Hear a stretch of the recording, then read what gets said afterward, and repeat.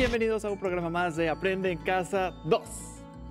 Un programa donde podemos estudiar y divertirnos desde nuestros hogares. Y hoy nos acompaña la maestra Alejandra López. Alejandra, ¿cómo estás? Muy bien, Aníbal, muchas gracias. Excelente. Amigos, estamos muy emocionados porque hoy tenemos el gusto de estar con ustedes en esta clase de educación socioemocional de cuarto grado. ¿Listos en casita? ¿Listos, maestra? Ok, perfecto. ¿Ustedes también en casa quieren jugar con nosotros? Excelente. ¿Les Pero- vamos a explicar? Ok. Antes de comenzar, ¿qué les parece si vamos a un consejo de nuestro querido Ajo Listo? Hola, ¿cómo están? Espero que muy bien. Qué bueno que salgo en la tele. Así los puedo ver todos los días. Recuerden que es importante seguir cuidándonos, lavándonos las manos por lo menos durante 20 segundos, usando mucha agua y jabón. Vamos a ver cómo hay que lavarnos las manos. Me las lavo con agüita y con jabón.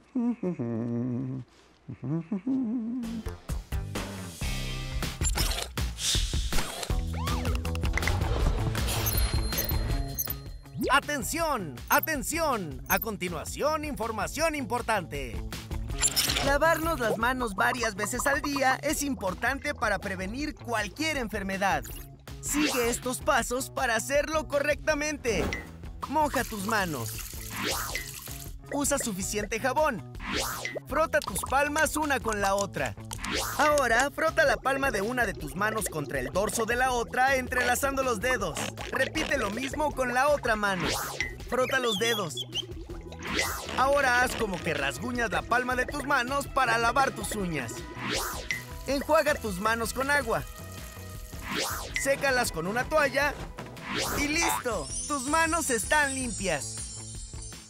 Si no tienes agua y jabón, usa desinfectantes a base de alcohol. ¡Cuídate! Te decía Aníbal, cuando yo te diga nariz, ¿vas a tocar? Orejas, Ok. Si yo digo orejas, nariz, perfecto. Si yo digo rodillas, hombros, ok. Digo hombros, rodillas. ok, perfecto. ¿Listos, chicos? ¿Listas, chicas, ahí en casa? Vamos a empezar a jugar. Venga. Nariz. Orejas. Rodillas. ¡Ay! Hombros. Excelente, estás súper atento el día de hoy. Ah, orejas. Nariz. Rodillas. Hombros. Orejas. Rodillas. Venga, tú puedes, Aníbal. Y ahí en casa también. Si se equivocan, no pasa nada. Una vez más. ¿Te late? ¿Lo hago yo? ¿Los dos? Yo les digo, orejas, rodillas, Ahora yo, no puede ser, ya me equivoqué. Es muy normal que nos equivoquemos. A veces pasa que nuestra atención está en otro lado y quién sabe qué es lo que estamos haciendo. Eh, a veces tenemos muchos distractores, muchas ideas que pasan por nuestra mente. Entonces eso, por ejemplo, ahorita estaba un poquito nerviosa porque habíamos empezado a jugar así muy rápido, ¿no crees? Sí. De repente como que no hubo esa explicación y, y fue bárbaro, ¿no? Pero lo logramos. Estamos, estamos, Estamos bien. A mí me gusta mucho saltar la cuerda. ¿Ah, ¿Quieres, sí? ajá, ¿quieres probar este, este reto? bien. ¿Crees que puedo hacerla con zapatos? Claro, claro que lo podemos ¿Sí? hacer. Entonces, mira, en este caso creo que tenemos nuestra cuerda aquí, Ajá. ¿ok? Y la idea es que empecemos a saltar. Este es el reto del día de hoy. Vamos a empezar a saltar, ¿ok? Bien. Entonces, Amiguitas y amiguitos, si están en casa y ustedes traen zapatos, lo más padre sería que se pusieran tenis antes. Aquí, como soy muy bueno, lo voy a hacer con zapatos. recuerden que la práctica hace, hace al maestro. Y si ustedes lo intentan y lo intentan, seguro que lo logran. Ok, Bien. vamos. Entonces, este reto es entre Aníbal y yo, ¿de acuerdo? Sí. Entonces vamos a saltar, venga. Tres, dos, uno, venga. Oye. Ah. oh, Estamos. ¡Uy! Ya, excelente. Podemos parar. Ok. ¿Qué te pareció este reto, Aníbal? Ay, Sí, y por ejemplo, ¿sabes qué pasa? Que una de mis fortalezas es que yo soy muy tenaz. Y ¿Ah, todo sí? lo que me propongo, lo cumplo. Con la ayuda de mi mente y con mucho esfuerzo. Pero ¿sabes qué? También una de las fortalezas que logré durante esta cuarentena Sí.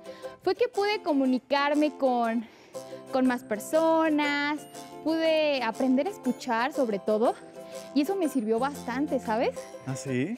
Sí, Y por ejemplo, ¿tú sabes para qué eres bueno? Oigan chicos, si ustedes saben para qué son buenos, Hmm. creo que también tienen dudas, ¿no? ¿Existe manera de que lo averigüemos o que tengamos una mejor idea? Claro, bueno, a mí me gustaría ayudarlos a todos y a todas en casita. ¿Tú crees que los ayudemos a descubrir estas fortalezas? Sería lo mejor, ¿eh? Excelente, ok.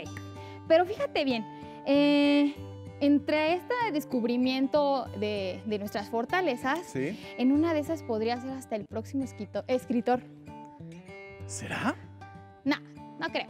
Es broma, es broma. Oye, estoy bromeando. Qué mala onda. Eh, parte del humor es también es, es parte de nuestras fortalezas. Entonces, siempre y cuando no lo ocupes para lastimar a los demás. Digo, entre nos fue una pequeña bromita, Claro, pero claro. pues, oye, no, no pasa nada. Bien dicho. Esto también es parte de nuestras fortalezas. Y bueno, ustedes por allá les comentaba si sabían que eran buenos o buenas para cualquier cosa.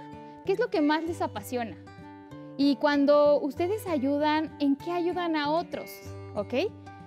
Pero mira, creo que estamos un poco confundidos con eso y como estoy viendo que nos gusta esta parte de los retos, ¿qué les parece ahí en casa si jugamos otro juego? ¿Te gustaría? Me gustaría. Ok, este juego se llama Gigantes y Enanos. Enanos, sí. ¿Han jugado alguna vez ese juego? Yo no. ¿Ok? Creo que por allá vi una mano levantada. Oye, sí, sí es cierto. ¿Ya lo conocen? Ah, perfecto. Pues mira, el primer paso es, nos vamos a hacer chiquitos, como enanos, ¿ok? Voy a hacerlo contigo así, chiquitos, chiquitos. Con mucho cuidado vamos a flexionar nuestras rodillas y vamos a hacer el siguiente juego. ¿De acuerdo?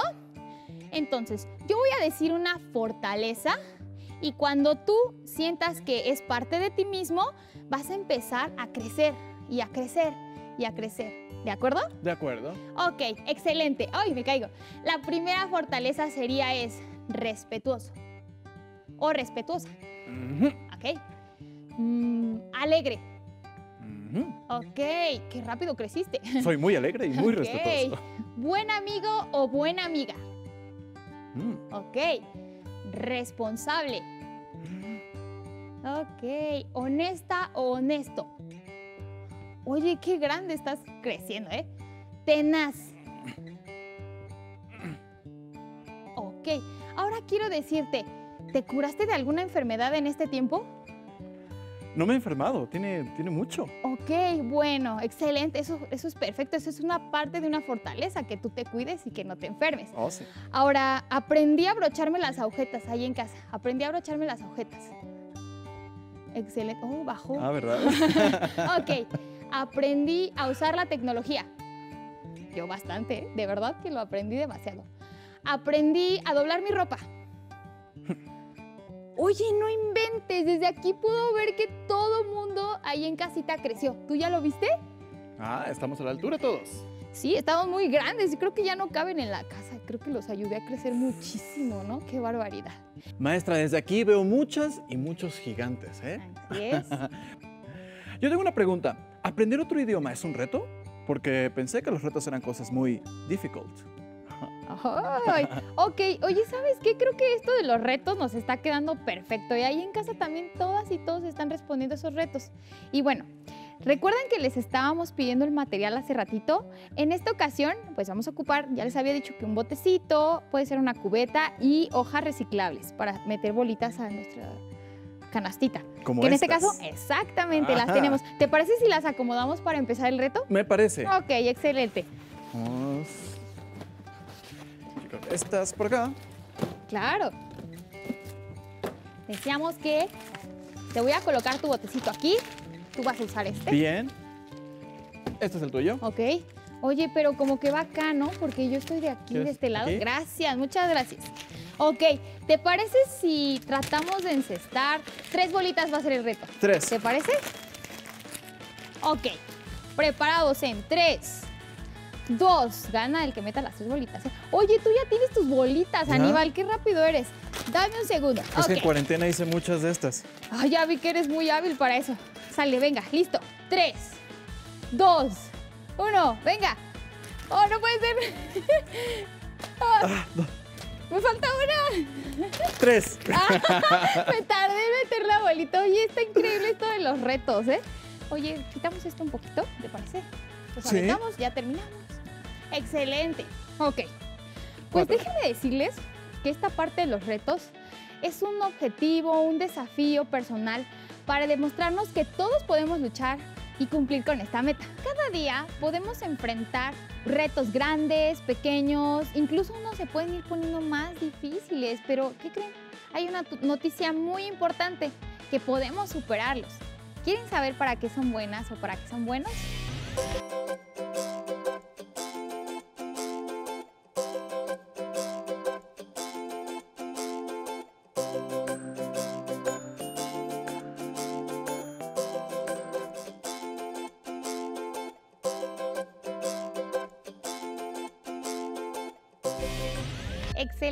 Muy bien.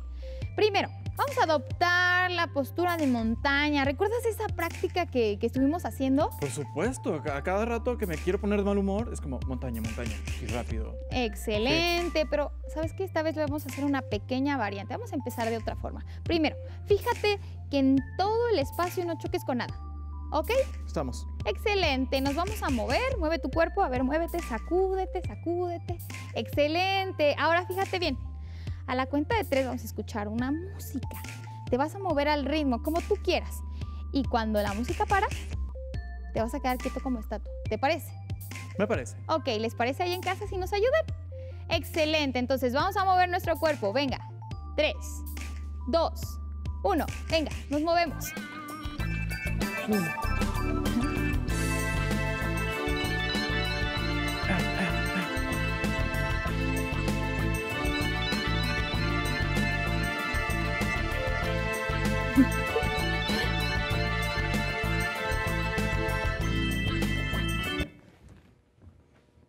Aníbal, ya paró la música. Aníbal, Mm. ya paró la música. Te tenías que quedar quieto como estatua. Ok, no importa, lo podemos volver a intentar.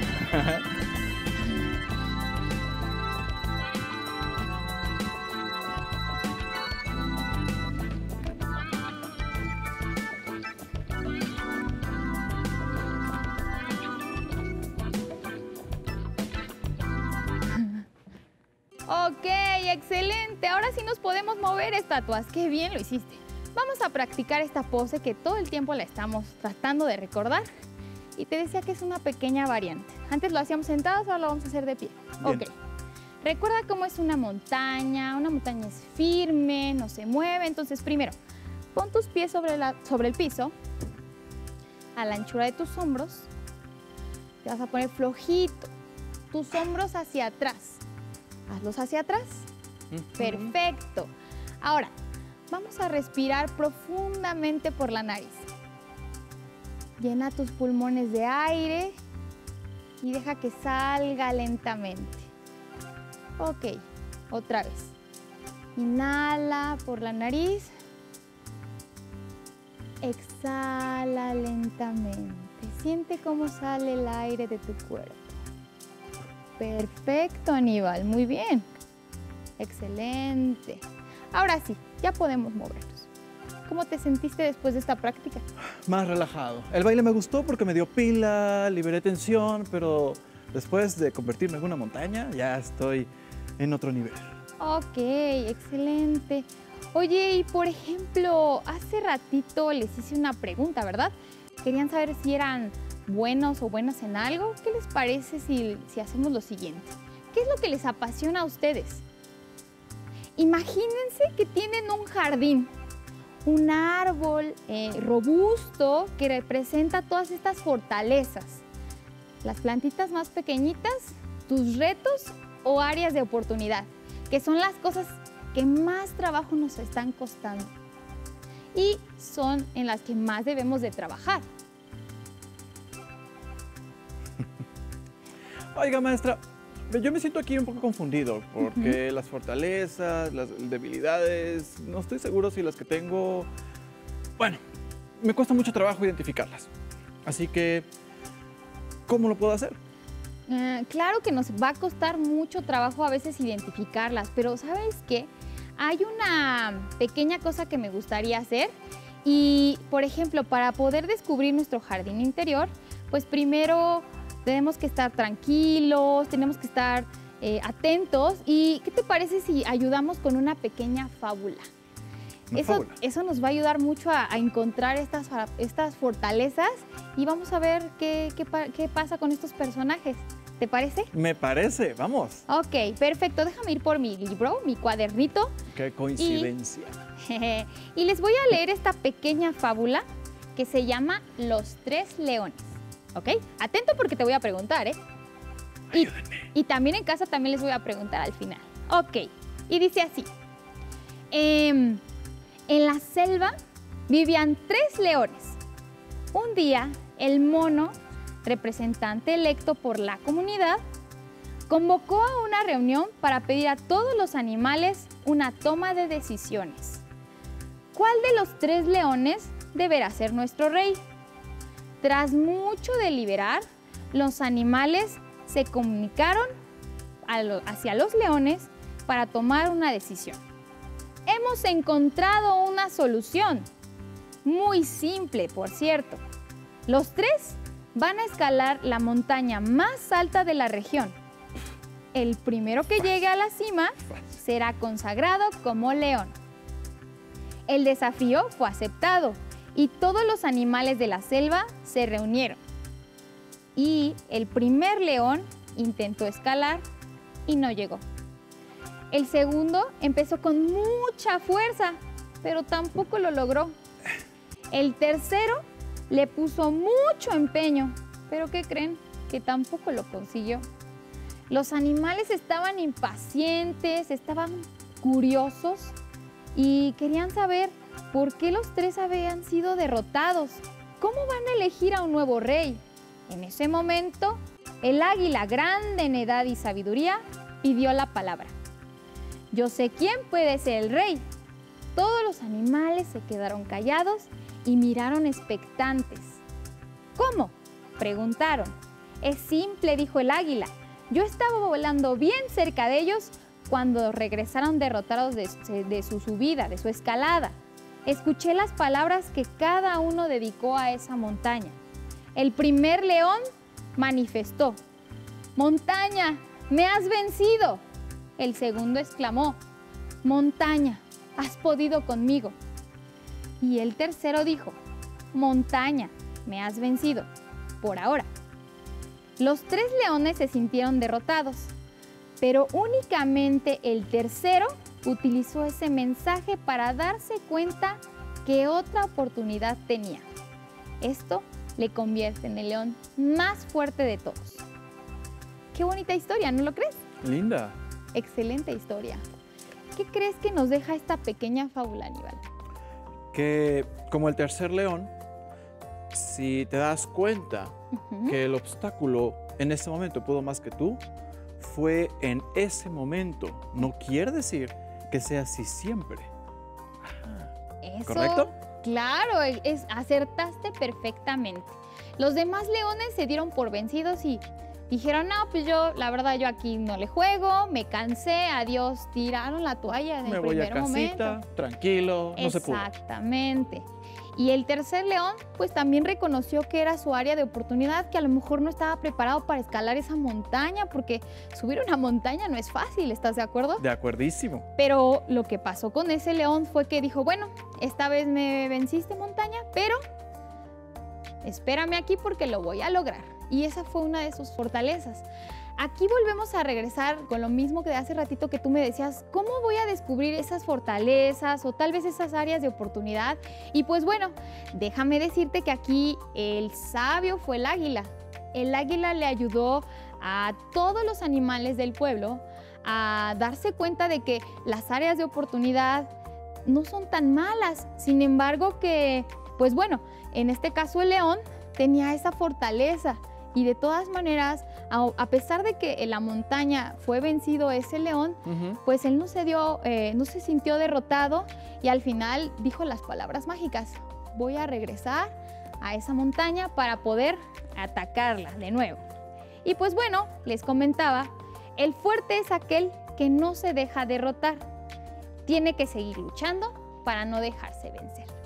En este caso, si tú en algún momento tienes dificultades para encontrar tus fortalezas, alguien más grande, puede ser tu amigo, tu amiga, te puede ayudar a encontrar todas esas bonitas cosas que tú tienes para dar. ¿Sí me explico? Claro. más claro? Sí, mucho más claro. Para cerrar esta sesión, es importante que ustedes detecten todas estas fortalezas en, en ustedes, si, si son buenos o buenas para hacer algo. Esto nos va a ayudar mucho a elevar nuestra autoestima, a estar muy motivados, a ser mejores personas o mejores, eh, por ejemplo, si yo tengo la fortaleza de escribir, de ser bueno dibujando, quizá, pues probablemente pueda ser el próximo escritor o el próximo pintor. ¡Qué ¿No te parece? Uno de estos retos que tenemos en estas circunstancias es aprender desde casa, ¿ok? Y poder conectarnos con nosotros a través de estos programas. Sabemos mucho que extrañan estar en la escuela. Es un gran reto para toda la comunidad. Te reto a que sigas regando tus fortalezas y todos los días también ayudes a otros a reconocerlas. Por ejemplo, no sé, el conductor siempre está dispuesto a ayudar a los demás.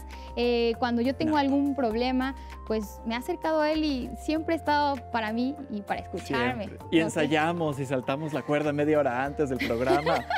Así Eso es. siempre pasa. Entonces, pues bueno, entonces yo, yo les ayudo a que ustedes pueden eh, seguir conociendo estas fortalezas, estas áreas de oportunidad y que es muy importante que te conozcas sobre todo a ti mismo. Y eso te va a dar mucha confianza, mucha inspiración, saber que eres muy bueno, te hace sentir conectado o conectada con el mundo.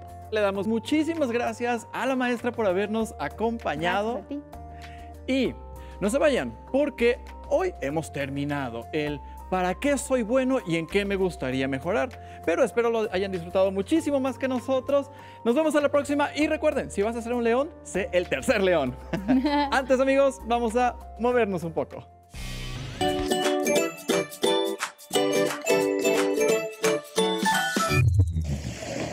Hola, ¿qué tal? Soy Paola Espinosa, doble medallista olímpica en clavados. Y quiero que hagan esta pequeña rutina de estiramientos conmigo. Vamos a empezar. Vamos a estirar las piernas un poco abiertas. Y vamos a ir primero hacia un lado. Lo más que podamos hasta poder tocar nuestro pie.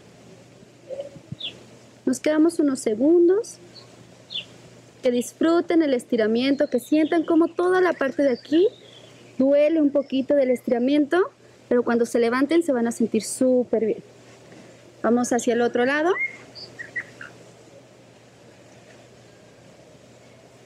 Igualmente, sientan como toda esta parte se va estirando, atrás de la rodilla. Regresamos y ahora vamos a ir hacia enfrente.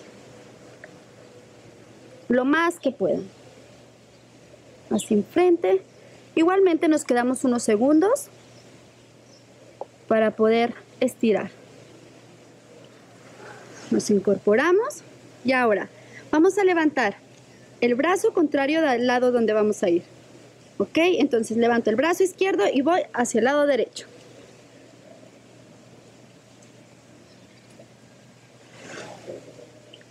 Unos segundos también a disfrutar el estiramiento.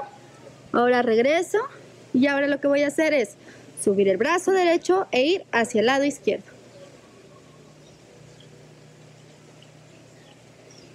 Me gusta mucho este tipo de estiramientos porque al final te sientes muy relajado. Vamos un poco más, un poco más. Ok. Regresamos. Ahora lo que vamos a hacer es vamos a meter la pierna que más quieran hacia el centro y ya que estemos en esta posición, ahora sí, otra vez vamos hacia adelante. Ok. En este estiramiento vamos a estirar, aparte de la pierna, el glúteo. Igual, unos segundos. Vamos con la otra pierna. Hacia adelante. Hacia adelante. Va a doler un poco, al principio es normal, pero el chiste es que lo hagan muchas veces, eh, diferentes veces en la semana, para que vayan aumentando su flexibilidad y se vayan sintiendo mejor cada vez. Listo. Estos ejercicios también los pueden utilizar para después de alguna una actividad física fuerte. Ahora vamos a hacer maripositas. Vamos a juntar así los pies y vamos a moverlos un poco.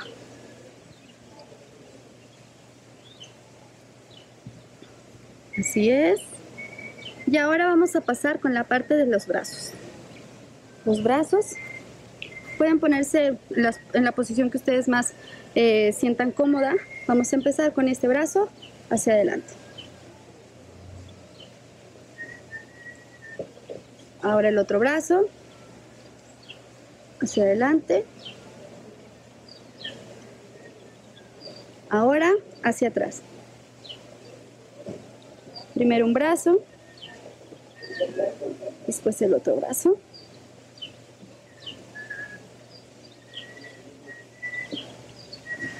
Nos relajamos un poco. Ahora vamos a estirar el cuello. El cuello es de las partes más ricas para estirar.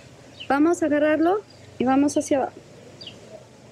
Primero hacia el lado en donde, estamos, donde está nuestro brazo y nos estamos agarrando la cabeza. Y luego hacia el centro. Ahora cambiamos de brazo.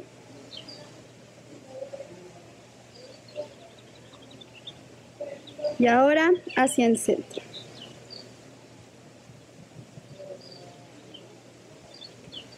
Muy bien. Ahora vamos a mover un poco el cuello. Vamos a relajarlo. Hacemos medios círculos.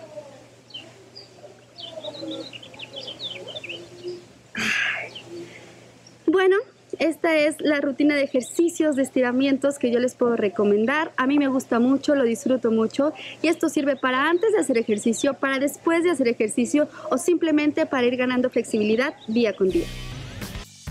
Si necesitas ayuda para resolver tus dudas, contáctanos.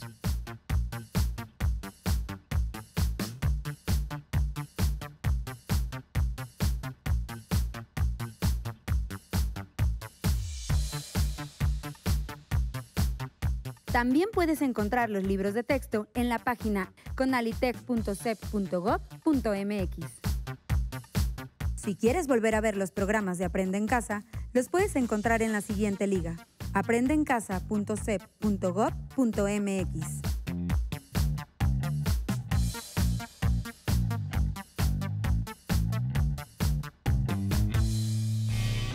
No se muevan de su lugar porque tenemos algo muy importante para ustedes. Acompáñenos.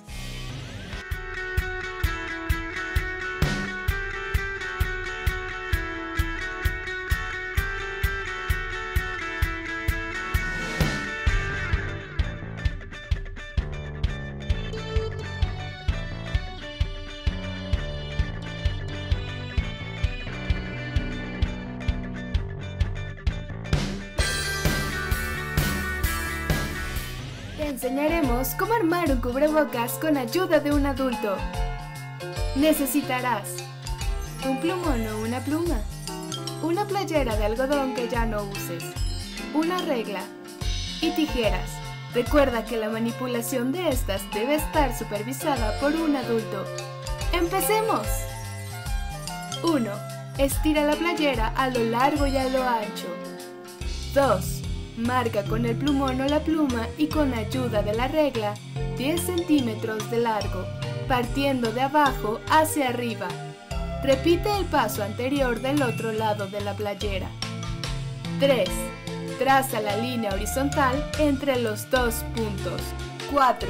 Con ayuda de un adulto, corta sobre la línea horizontal que marcaste. Asegúrate de cortar por fuera de la playera. No introduzcas las tijeras en ella. 5. Ahora tenemos un pequeño pedazo de playera. Estira a lo ancho y con ayuda de la regla, mide y marca con el plumón o la pluma de 15 a 18 centímetros de largo de un lado, dejando un margen de 2 centímetros de alto arriba y abajo. 6. Nuevamente pide ayuda a un adulto para recortar las líneas marcadas. ¡Listo! Ya tienes un cubrebocas con dos pares de cuerdas. Para colocártelo, deberás amarrar las cuerdas sobre tu cabeza y alrededor de tu cuello